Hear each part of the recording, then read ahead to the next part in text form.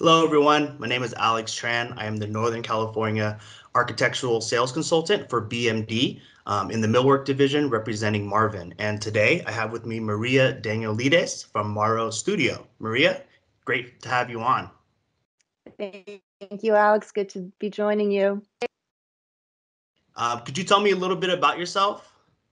Sure. So um, I guess I'm going almost on 25 years in architecture now, but I spent the first 17 years working for a firm here in San Francisco. We actually uh, started out, it was a, an office in Pittsburgh, and um, the a project brought us out here to the West Coast um, in 1999, and I've stayed ever since. So um, about five and a half years ago, I left that firm to uh, try something different and it was a bit of an ac- accidental entrepreneurship. So i now work for myself and have been.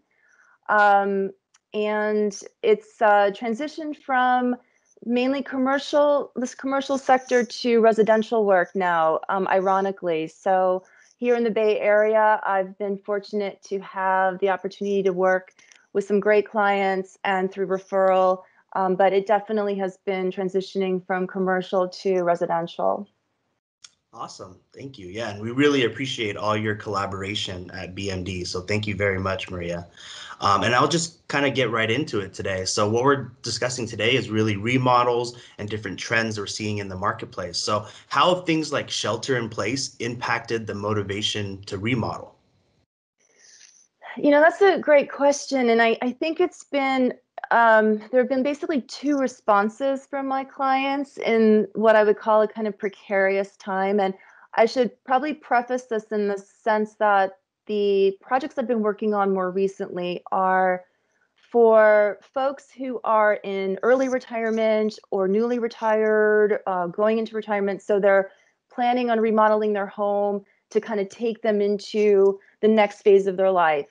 Then there's um, sometimes a young couple with a growing family, and they might have their home for the first time, and it's you know San Francisco or in the in the peninsula of the Bay Area, and they are looking to remodel that would respond to their growing family.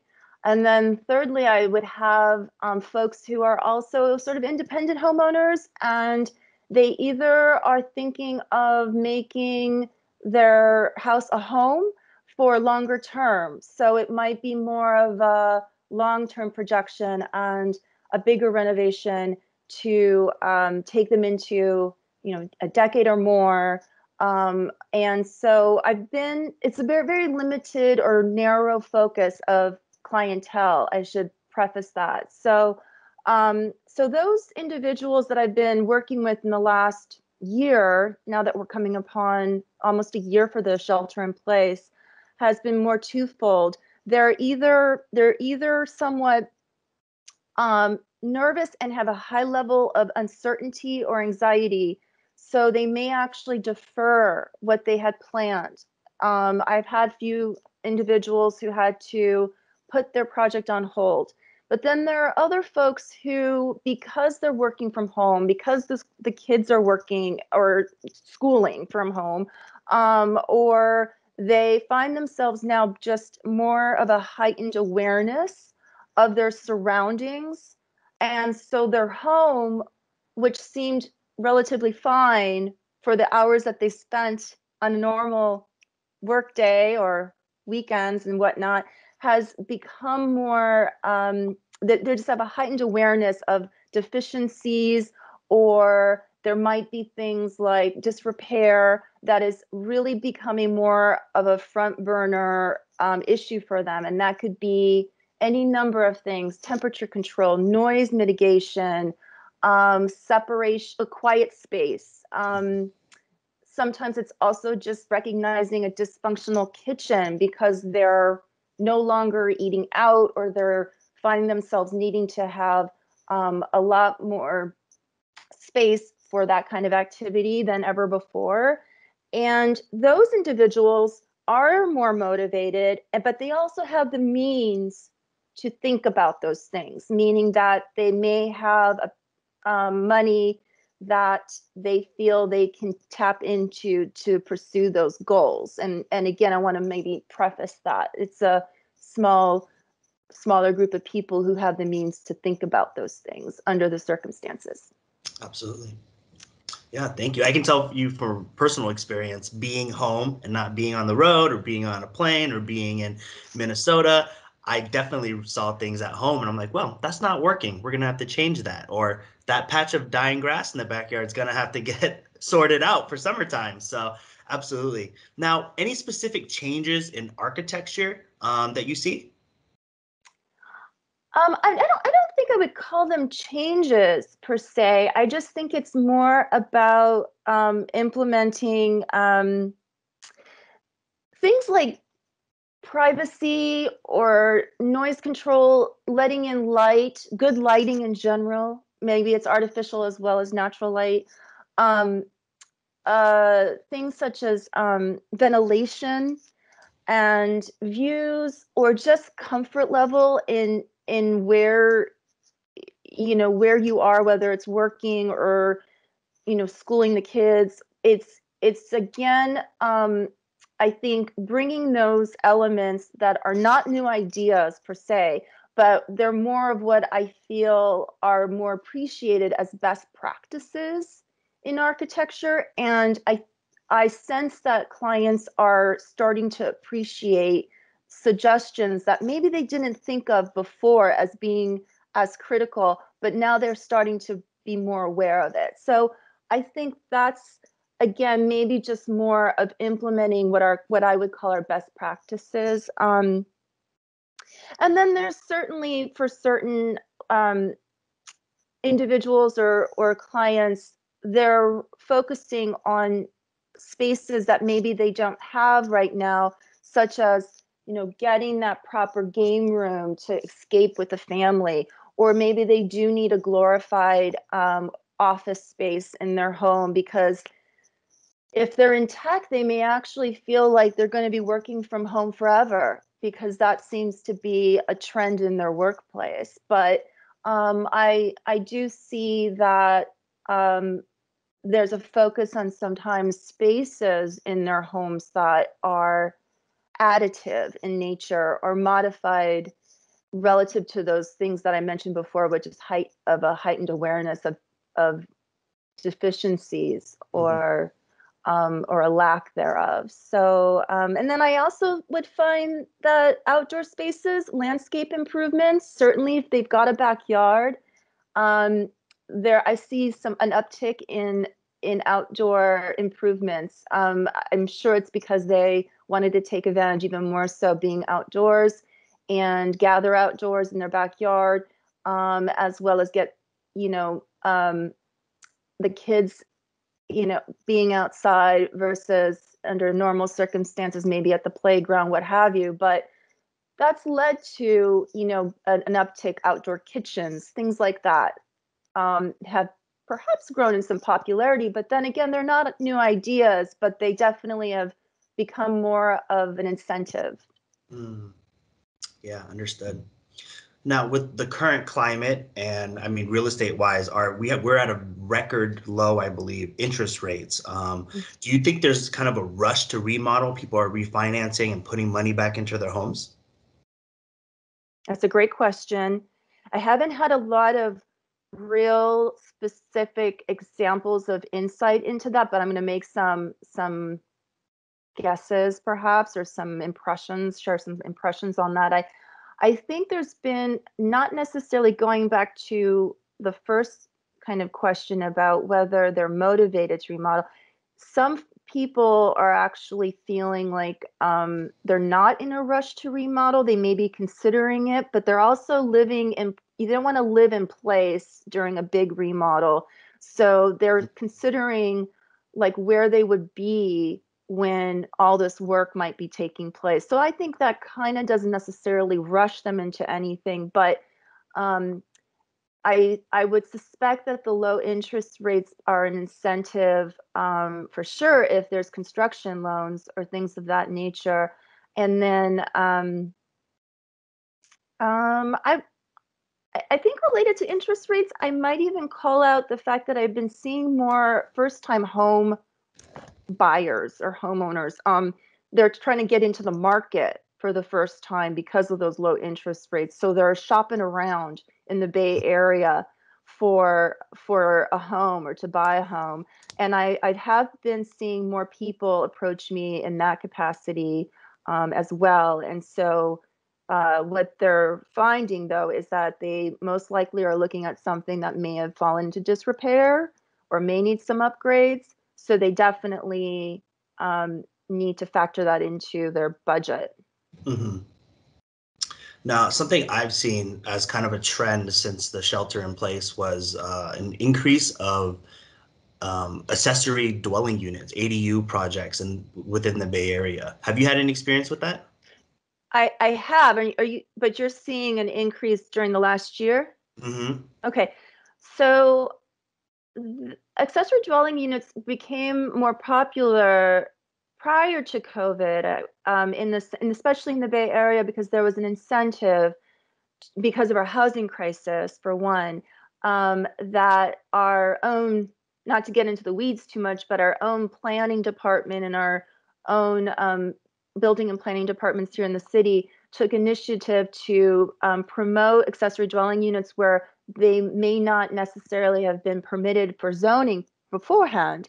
Mm-hmm. So there was some incentives and prototypes of um, to to get folks thinking about that or legalizing something that may have been illegal before, whether it was an extra in law or you know um, a, a, space that that was an apartment but just needed to have um, proper modifications done um, to bring it up to code. So I was doing those maybe five years ago, actually, and seeing that um, that uh, trend, I guess we can call it, basically through folks though who um, have a very conducive property to undertake that um, as an option because it's not it's not an easy thing. It shouldn't be underestimated that it does take a quite a bit of planning and and um,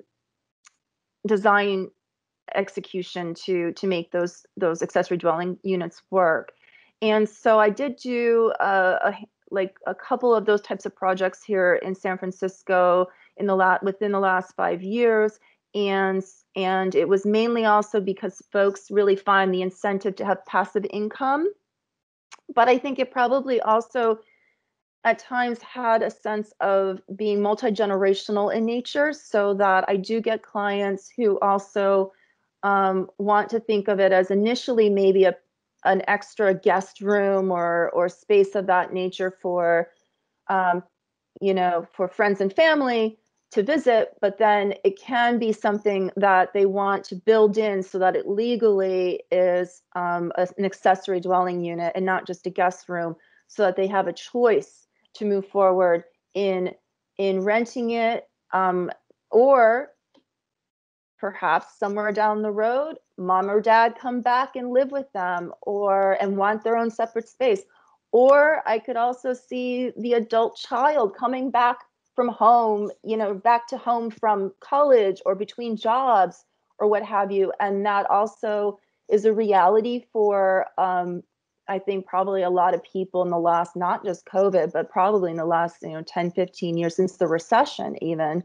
of 2008. So, so there's good long-term strategy strategies related to those ADUs, um, but they're not simple by any means, and you know need proper planning and um, and and they're not inexpensive, especially in the Bay Area. And so it is a long-term investment. Thank you so much. We really appreciate your time and your input for mm-hmm. our remodeling and trends webinar. So thank you very much for your time. For sure. Maria, I will speak to you soon. Have a wonderful day. For sure. Thank you so much, Alex. Talk to you later. I'm here with Andrea Holmes with Therma-Tru Doors. She's the national account manager for Therma-Tru. Welcome, Andrea. Appreciate you coming on and spending some time with us. Thank you for having me. So, so give us a little background about yourself. Um, tell tell us who you are, what what you do for Therma-Tru. Yeah, so I'm the national accounts manager, um, really focused on the remodeling and uh, retail channels, and uh, live in Nashville, Tennessee, um, and have for 20 years, and uh, have also been in the industry for about 17 years. So, uh, been been through a few things and uh, seen some ups and downs, definitely. Yeah, and this is obviously a unique time for all of us right now, and I know you're seeing a lot of that. But but let's just jump in right away and and and just talk about you know the remodeling and the trends that are going on there. How do you see the trends going in the remodeling? Uh, is it do you see it stronger now um, because of COVID and the resulting economy? You know, that was always my fear is is stepping into this year uh, knowing what's coming and thinking, wow, you know, thing, things are really going to lock down. It's going to be a tight year for us, but you know, we saw it a little differently. What what do you what are your thoughts on that? Yeah, we we have definitely seen strong demand um, and actually stronger than pre-COVID. Um, you know, I think with people being at home more, um, there's definitely been more DIY projects, um, and then a growing number of do-it-for-me projects as well. Um, some of the research that we've seen has um, said that that people pulled forward projects, maybe that they were planning for a year or two from now. Uh, maybe they had been saving for that, um, be, but because they did have some money in savings, also had the time um, and the ability to do it, that they just decided now was the time. So um, right. the forecast really, what we're seeing though, is that there's likely to be more do it for me um, because a lot of those uh, DIY projects are now done. So, um, you know, that may be really for the near term what we see more of. Right, right. Very interesting. And obviously, you know, entries doors are a, are a big part of that. You know, when you're when you're doing some remodeling, and we'll talk about that in a little bit too, about you know changing curb appeal and and doing things to increase the value of the home. But um, you know, one of the challenge I know we're saying, I know you're saying it too, is is just this challenge of communicating. And you know, you can't do those in-home consultations as much anymore, and, and depending where you are, even less. um, so how how are you guys um, working around that? What kind of tools have you come up with, and you know, what are the things that you're doing with as Therma-Tru? Yeah, so you know, the remodeling companies that we work with um, we already had existing digital catalogs that were available. Um, now, what we are seeing is those companies are utilizing technology more. Um, they're doing, instead of those initial consultations in the home, they're having those virtually. Um, they're sending links to information um, that the customer can browse online, kind of do some selections, um, if you will, and narrow down their choices. Um, and then really until the um, selection and measure visit is needed, um, that's really the time that they would actually schedule something and be in person.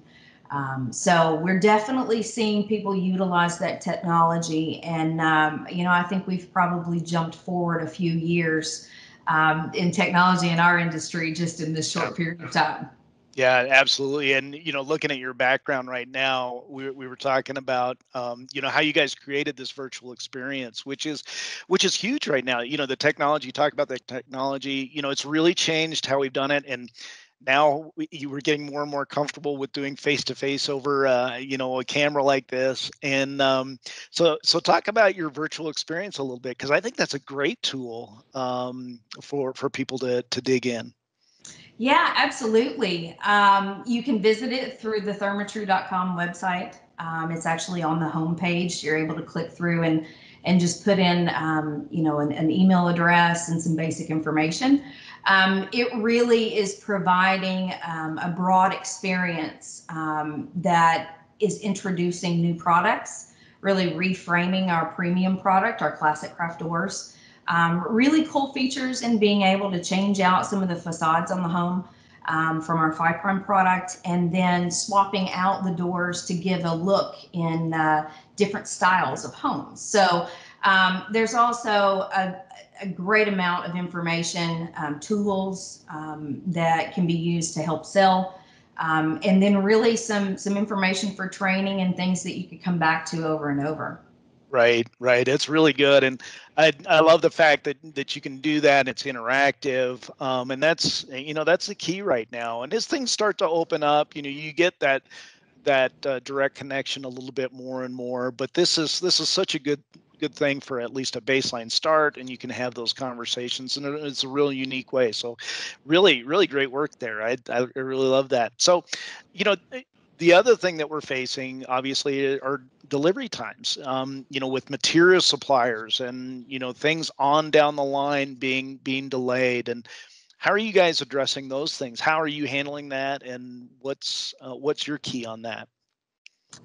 Yeah, I, I can't give enough credit to our team. Um, they are diligent um, every day looking for um, the ability to maximize capacity um, and balance that with the demand that we have. Um, they're they're looking at all options that are available. So, uh, one instance, um, one of the things that they did is we converted what was a steel door only production line um, so that that line can now toggle between making fiberglass doors and steel doors. So they're looking at every option um, for what can immediately be done in the near term.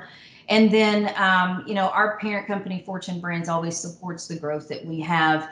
And so we always have the longer term plan for um, how we maximize production. But, you know, our plan is running six and a half days a week. Uh, that other half day is just for maintenance. And uh, so, so yeah, they're doing all that they can, um, and I've been very impressed with with what they've been able to do in juggling um, all the the things they're looking at.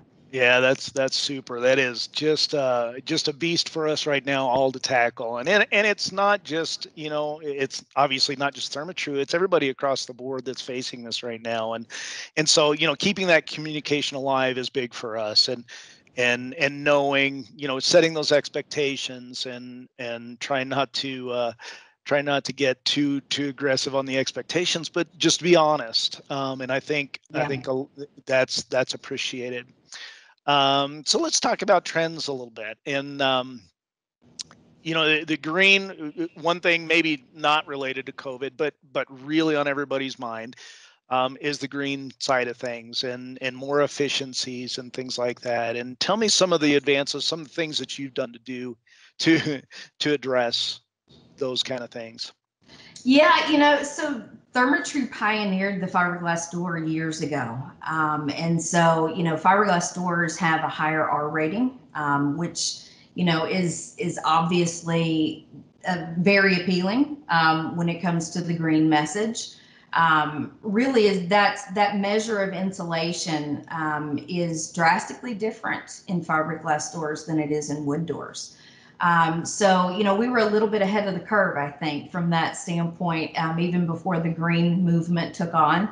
Um, you know, Therma-Tru does take it a step further, though. Um, and so we go to market with a full door system approach, meaning that all of the doors, the glass, the components that go into the door unit, they are all engineered and manufactured to work together. Um, and really, the meaning for that being um, for a tighter seal, for less leakage, for better performance. All of those things are, um, you know, made to work together instead of one manufacturer making um, you know, the the seals and and someone else making the hinges, you know. So everything is is made to work together.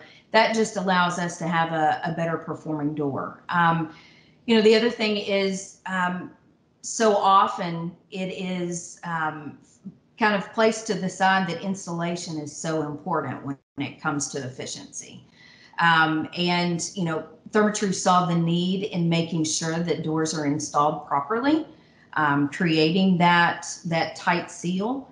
Um, so we actually created a, a certified installer program um, that trains installers on the proper installation of Therma-Tru doors. So um, there is a course that's available, um, and you know through those courses, an installer can be certified and they can promote that, um, you know, for their business.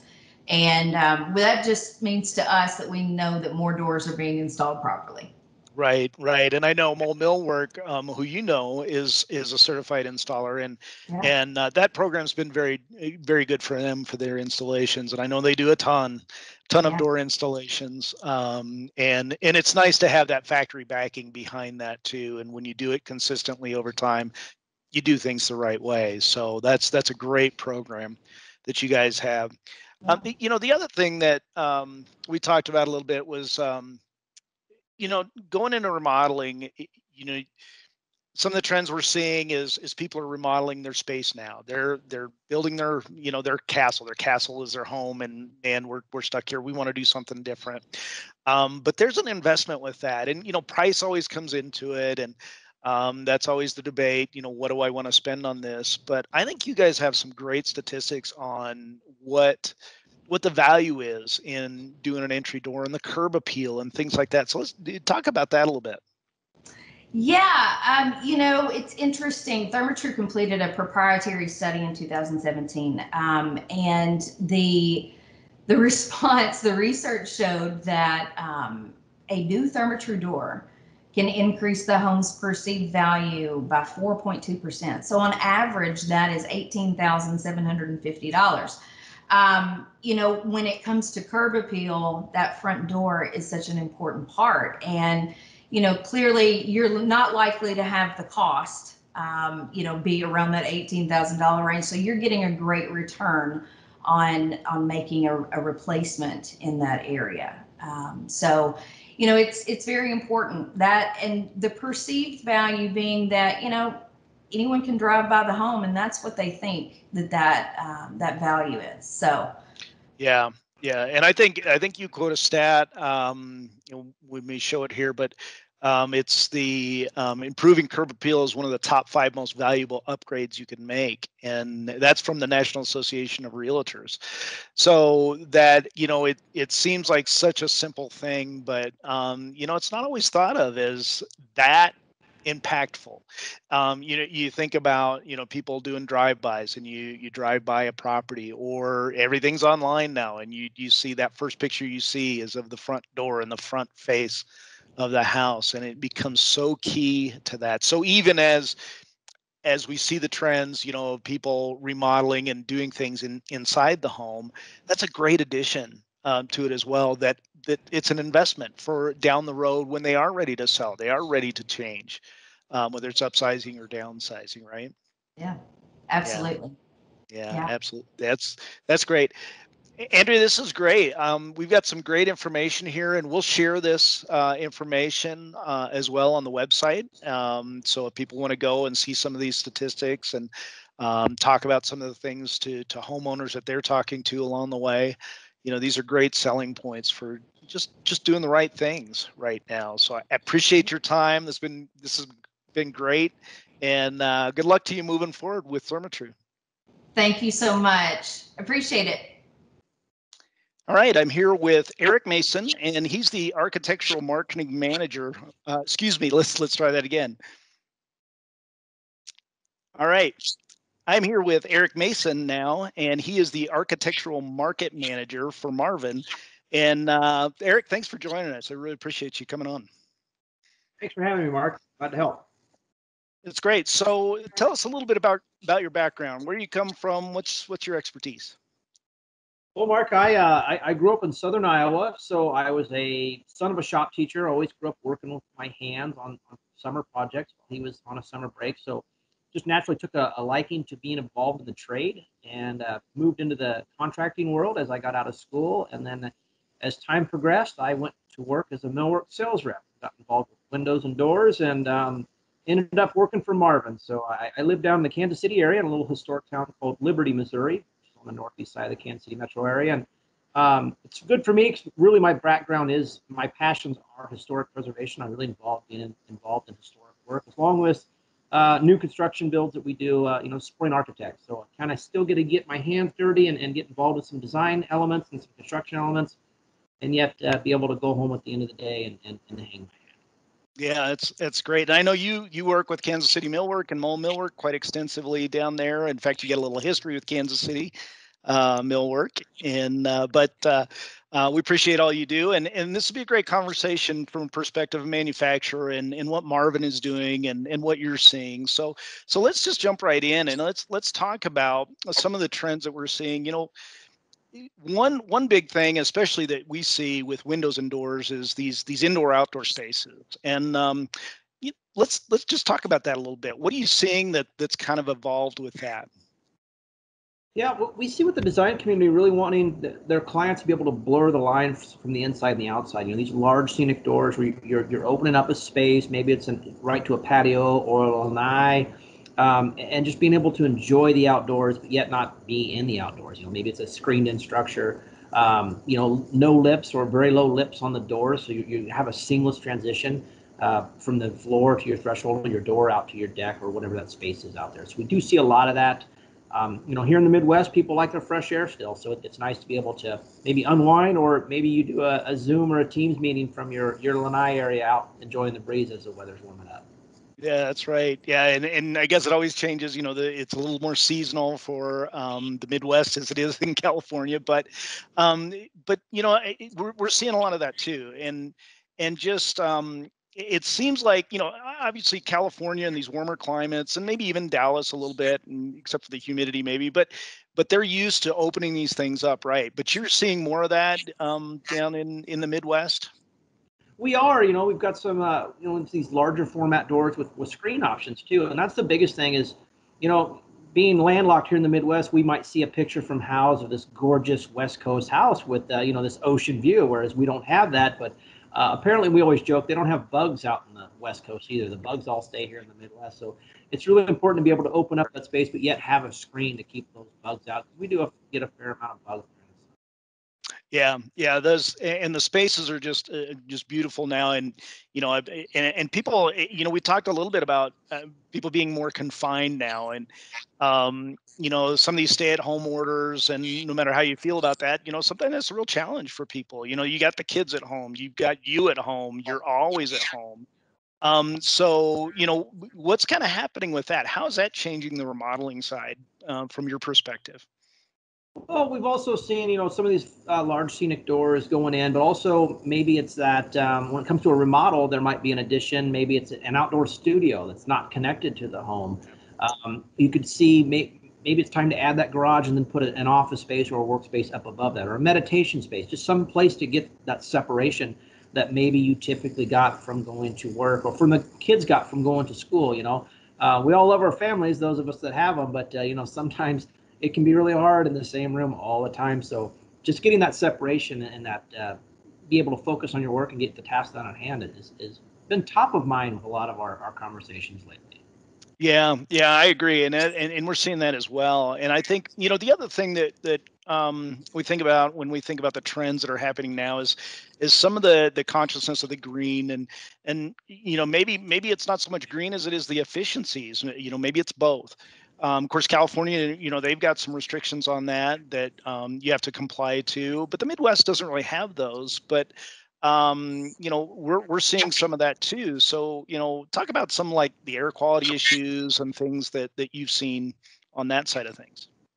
I do get to hear quite a bit about, uh, you know, homes are so much tighter nowadays. There, there's techniques to, to open them up. The windows and doors are more high performance.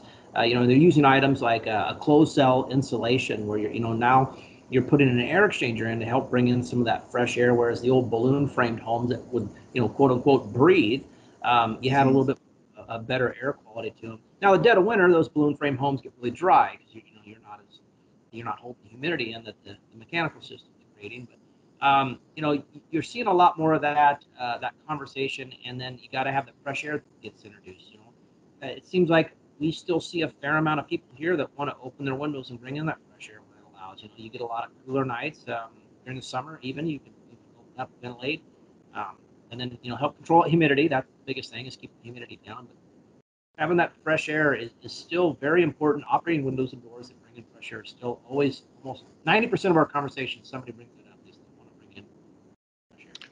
Right, right, and we we had a conversation a couple of months ago with a builder in Colorado, uh, which is where I am, and you know he's he's building up in Castle Rock, which is you know we're you're up around six thousand feet, six seven thousand feet above sea level, and it, the first thought is, you know, they wanted to do an indoor outdoor space and they wanted to open it up. And he's like, you know, and, and he got a lot of feedback. No, you can't do that Colorado. You can't. But, you know, even here we get mild weather in the winter and, and certainly in the summer, there's good opportunities there too. So um, I, I, think we're seeing that uh, in a lot of places um, as well. But um, one word that you and I talked about a minute ago was um, embodied energy. Um, talk about that and how how has that impacted? What does Marvin um, how does Marvin play a role in that? Well, it does seem like um, you know when people start talking about a green building technique or being more environmentally friendly, um, the one thing that we discuss is the embodied energy with our fiberglass products. You know, you start comparing it to maybe a vinyl, which is a petroleum-based product. You know, fiberglass comes from silica, basically. It's a base component. So plenty of silica available um, around the world, and it's a green building technique. I mean, it's it's you're creating, you're forcing some products into a die, create an exothermic heat, and then it's coming out a pultruded piece of fiberglass. So we're not taking that out of a petroleum-based product. We're not um, shipping that on containers around the world to be recycled or, or remelted. And so it's it's a it's a very environmentally friendly way to build a window and. If you think about fiberglass too, it's the same component as glass. So any of your expansion and contraction rates virtually identical. So we've really kind of engineered any any seal failures or issues you might have down the road, especially with these bigger door openings that we're asking you to do nowadays. It's good to have a nice stable product that won't move in the uh, between the, the hot and cold cycles in winter. Right, right, and that's you know that's that's great because you've got it from both sides of that too, right? You've got you've got the efficiency side from you know when it's installed and and when it's performing in the home, but you've also got it on the manufacturing side and and um, you've got those green aspects of um, that you just talked about of the fiberglass. So, so that's great. Um, you know, and and maybe the last thing, just just a little touch on, you know, we we talk about the oasis at home, right? We talk about, um, you know, people are remodeling, and and we're seeing a little bit of this shift um, where uh, they're not necessarily looking for a new home build. Now's the time to to just just stay at home. Let's let's do something with the home, and and we talked about that a little bit, where you know it's it's the family all in one place. But you know, in some cases, whether there's a stay at home order or just people are trying to confine a little bit more, stay a little bit tighter at home. You know, now you've got this space that you're staring at four walls constantly, um, and and they're kind of moving in that direction. What are you seeing on that? Well, we've seen plenty of um, maybe it's not a full blown remodel, but they need to add some structure because the you know that typical sliding patio door off the dining room that goes out to a deck, maybe that's going to get taken out. That's six foot wide. They're going to put in a 16 foot wide, eight foot tall door. You know, have a, a moving wall of glass now, whether it's a, a biparting fridge door or a multi slide door or a or a bifold door. So we see a lot more of that. Maybe they expand the deck, but then you've got all this glass that's letting in this light. You know, again, we're blurring that line between the inside and the outside. So um, that encompasses structure. So it's a remodel, and and we see um, we see a fair amount of that where you know maybe in the past it might have been easier to you know what just pick up and move and find another home. It, it does seem like when, when people decide to stay put or in their house a little bit longer, we start doing projects like that. So we, we don't do the whole house. It's not a new build, but um, we might get a couple of doors out of it and, and a window or two. Right, right. Yeah, it's really good. There's, you know, a lot of changes. Um, and it's interesting to see. And we talked earlier about, you know, eh, you know, going into 2020 and when things started locking down, you really started worrying about the economy and what was happening. But but last year was a strong year for the building building industry, and you know, remodeling was a big part of that. I know, and um, so it's it's good to see things to continue, and people are able to do these things. And you know this is this is a good focus for uh, for businesses that we're we're talking to. So absolutely. Yeah, it's great, great, Eric. Hey, I really appreciate the time. I um, I wish you luck, and it's great to work with you. And thanks for spending the time with with all of us here today. Thanks, talk. It's great to talk to you, Mark, and have a great day as well. All right, thanks. All right, I'm here with Rob Ross, and he's the principal for Trad Building Design out of uh, Boulder, Colorado. And uh, welcome, Rod. Rob, it's great to have you with us. Yeah, thanks. Thanks, Mark. Yeah, great to be here. Glad to answer some questions. All right, good. Well, let's start off by uh, telling us a little bit about your background. Um, what do you do? Tell us a little bit about trad design and build. Uh, yeah, so I'm our architect. My business partner is a general contractor. So we are a true like architect-owned residential design build firm in Boulder, Colorado. Uh, the bulk of our work is remodels and additions in the county, though we do custom work as well, both accessory dwelling units, custom homes in and around Boulder and Boulder County. And uh, Trad is five, a little over five years old now, but uh, collectively, Dan and I have both been working in the, the Boulder area for, oh, since the, the mid early uh, 2000s. So 2006, seven um, for Dan, I think 2001 for me. So, you know, we've been doing a lot of work here on the Front Range and in our area for quite some time. Uh, so a lot of a lot of homes have, have seen our our influence and touch, both as you know, working independently and together. So. Yeah, that's great. Um, so, so Boulder, a kind of a unique um, area for those who may not know. Boulder's um, just west of Denver, basically, and um, is you know the, that whole area around Boulder, between Boulder and Denver, has just grown, and um, you know a lot of a lot of things around uh, built around the 60s and 70s, the old the old bi-level and tri-level that was so popular for so many years, and um, and so you know when we talk about trends in that area, that's that's something you've really worked with is taking those older designs and just giving them new life, giving them a, a contemporary feel. Um, and, and just talk about that a little bit about what you've done with that kind of market.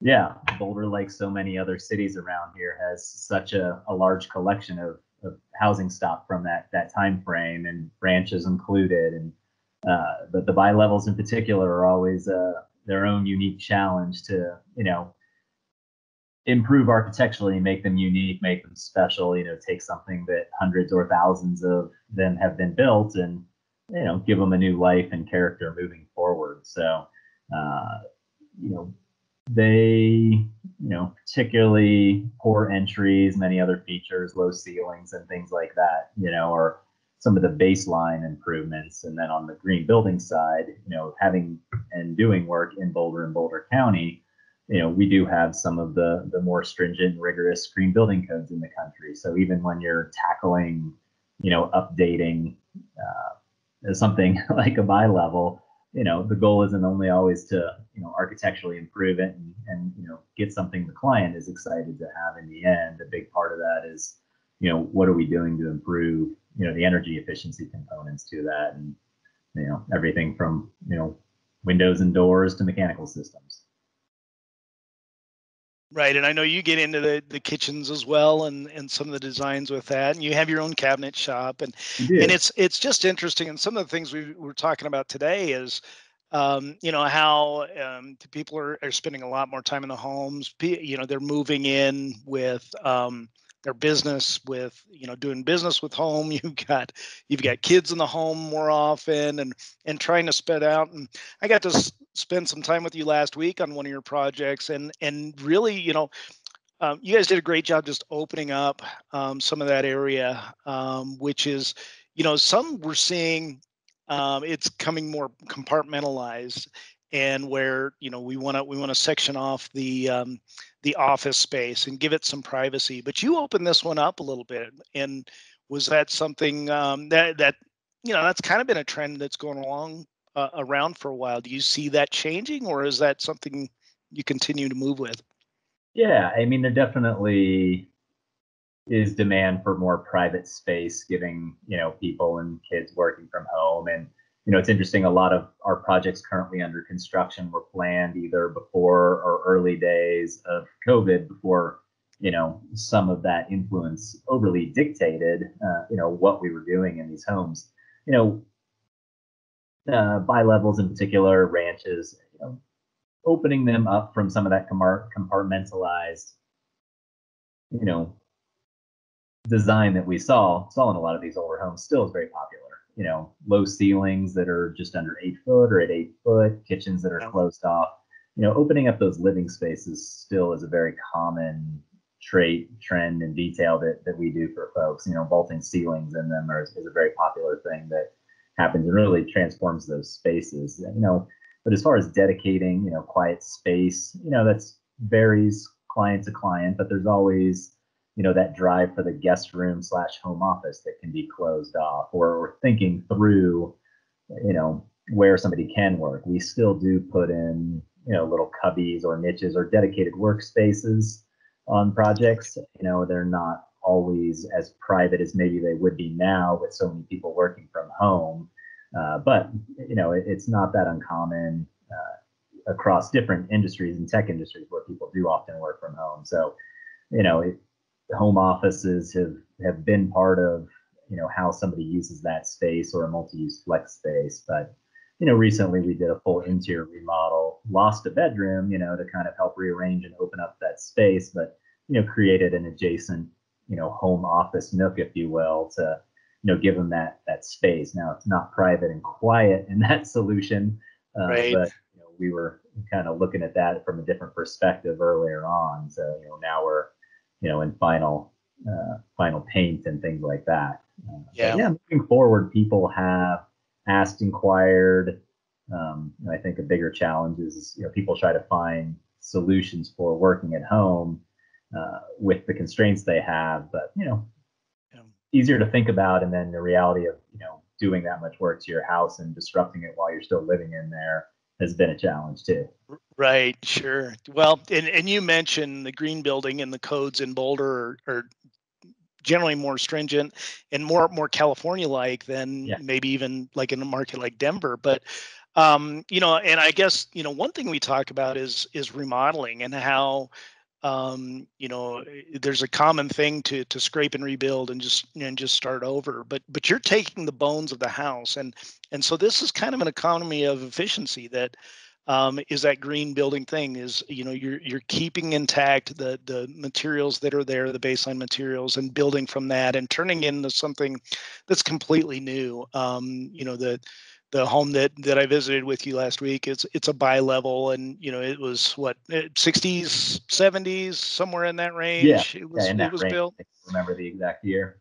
and um, so you know really that's a that's a green um, part of your your process right there isn't it just starting with the initial structure Absolutely. I think homeowners sometimes get a little bit of a mixed thought across the industry from whether their house should be torn all the way down and starting Yeah. over or not. And, you know, a lot of that is market and budget driven too for, you know, really how much change you're doing to a home. But, you know, what we're doing are often, like, you know, the pop top, the new master suite on top, or some additional square footage or space to, you know, add add to those homes. And the bones are often, you know, adequate. You know, lumber and things that were built back then sometimes are were, were better quality. They're great to work with. Um, what we do pull out, we we recycle, but you know, it, it's almost more interesting sometimes working with the constraints. it gives you a different, more fun design challenge. Uh, you know, reaching towards what whatever that client's end goal is. You know, do they want something modern out of a bi-level, or are they, um, you know, looking to bring it more into something more of a traditional role, a farmhouse or a, you know, a craftsman type thing. So, you know, taking a bi-level, which is a pretty generic, you know, Mhm. transitional builders, you know, floor plan, and you know, trying to apply some style and character to it. You know, it's a challenge. It's a fun design challenge. Um, and you know, I think saving those structures, especially foundations, first floors, you know, we're often changing roof lines, so you know, you might scrape a roof off, but there's still a fair amount of, of wood and products saved in that that home. And as we've seen over the last year plus, I mean, even in the last few months alone, lumber pricing has skyrocketed. So right you know, what we can leave in the house is that much less that we're having to replace. You know, and Yeah. Yeah, that's an excellent point. That's and that's a big change we've seen this last year too. I guess with with COVID is the the pricing and availability. Lumber has just just been a, a real challenge. So that's a that's a great point that you mentioned there. You know, and the other thing um, is you consider some of these older homes and um, you know old windows and and things and and changing them. Like you know, this home you just did was um, you you put Marvin in there and um, and I imagine you know some of the efficiencies are part of that, right? Oh, absolutely. You know, I mean, this home in particular had, I think, the majority of the windows, with the exception of a few, and in addition, it had had sometime in the last 25 years, were still single pane aluminum windows down in the basement, maybe some double pane vinyl or aluminum upstairs still. It was a bit of a hodgepodge. So, you know, Sure. coming in with um, a full, you know, new window package you know, it's a big aesthetic improvement, but the energy improvements also uh, are great. You know, I'm one of my favorite window lines to use in sort of our our market of remodels is that essentials line for for Marvin. You know, the limitations aren't aren't that bad. You know, I mean, you really can get a great combination of, of windows that can be molded together and you know get a great aesthetic and you know the U values that we're targeting now are are getting more and more attainable with improved glass coatings and things like that, which isn't Marvin specific. That's really more glazing type. Right, type. right. But you know, the fact that you know we can get these additional coatings, you know, at an additional cost, you know, depending on how it's driving the, the project and the green building requirements. Uh, Right. but you know, getting down to a, a 0.27, a 0.26 U value on something which is just our baseline requirements now for anything that we're doing on a, a prescriptive path type review. You know, when you get into a performance path where an energy rating is involved, and that gives you a little bit more flexibility on, you know, one door can be over, or it's more of a collective, you know, snapshot of the whole house. But a lot of times when it's a one and done, you know, we, we need those resources and, and Marvin and, you know, some of the other folks that you guys work with or, you know, have products that can, can meet those low U value demands in the market now. Yeah, yeah, and that's that's something obviously the trend continues to move more in that direction. Um, you know, for for the green aspect, but also the efficiency aspect, and and people appreciate that more. being able to keep your heat and keep your cool in the home when it where it's supposed to be when you Yeah. need it, right? Sit next to the window on a cold day. yeah, yeah, that's right. That's right. Well, that's this is great, and I I, I love how how you guys approach the market and the things that you've done, and um just uh transitioning um you know older homes and giving them new life it's it's kind of a fun thing so i really really wanted to talk to you about that and i appreciate you taking the time today to to go through that with me Thanks. Absolutely. yeah great all right have a have a great day Cool. Thanks, Mark. All right, I'm going to have our, our panelists uh, unmute themselves. So um, Andrea and Eric, if you guys can unmute, uh, hopefully you can hear me okay.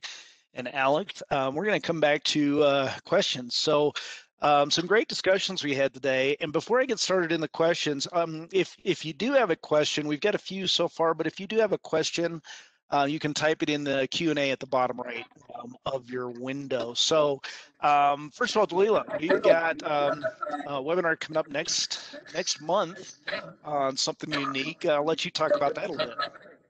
Sure, thanks, Mark. Um, so we are going to be talking about accessory dwelling units and how it is a big building trend that just came about in 2020. Um, so we're going to be talking about that. That's going to be in April the 20th at nine o'clock in the morning. And if you guys want to register for that, that is already up on the bmdusa.com website. Looking forward to that. Thanks, Mark. Yeah, yeah. Thanks, Dalila. So, so let's jump in, uh, Dalila. I know we've got some questions. I'll let you go ahead and uh, feed that and uh, see see what we can address here. Sure, great. Our first question uh, for all the panelists, we have, in your opinion, what is the number one remodeling request you are seeing?